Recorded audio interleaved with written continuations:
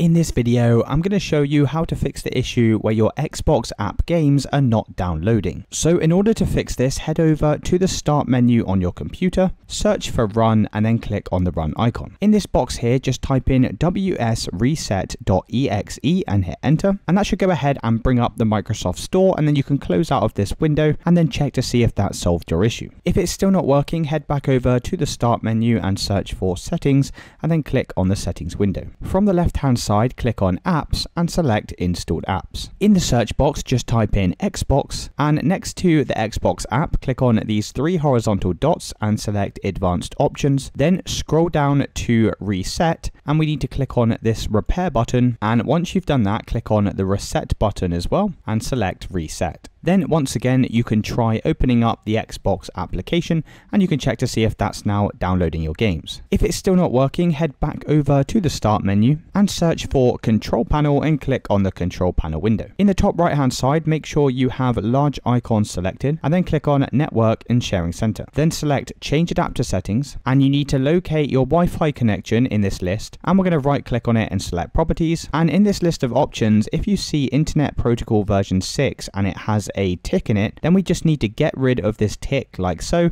then go and press OK, and that should have now solved your downloading games issue. The final thing to do if it's still not working is to head back over to the start menu, this time search for CMD and right click on the command prompt and run as administrator. In this window, just type in sfc space forward slash scan now and then hit enter. Now you'll just need to wait a few minutes while this goes ahead and scans all of your core Windows system files. Once it's finished scanning these files, you can go ahead and restart your computer and that should have now solved any issues you were having. If you did find this video helpful, then let me know in the comments and I'll see you in the next one.